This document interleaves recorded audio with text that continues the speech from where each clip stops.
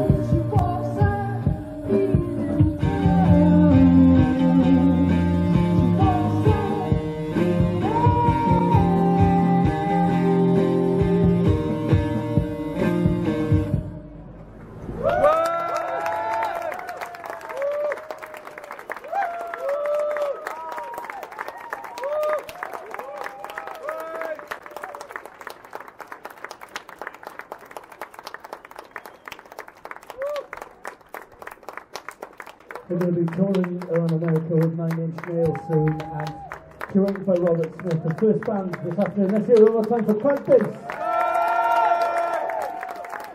I will be back in 30 minutes with Martinez playing on stage. Thanks.